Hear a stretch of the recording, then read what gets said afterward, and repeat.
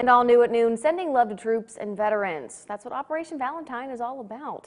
This multi-state project has cards being collected and given all throughout Pennsylvania, Ohio, and Maryland, as well as right here in the Mountain State. And once again, Chambers and James Funeral Homes in Brooke County is collecting Valentine cards to send out. Owner and remembrance planner Eric Fithian says they collect about three to 4,000 cards a year for this amazing project.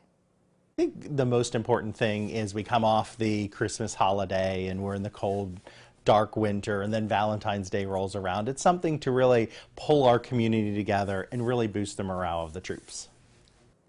Both funeral homes have bins on the porch, so you can just drop the cards in there, or you can also mail them to the funeral homes as well. The addresses are available on our website, WTRF.com.